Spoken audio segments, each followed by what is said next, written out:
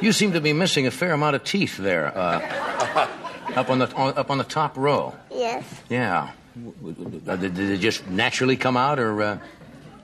A little help from Mom.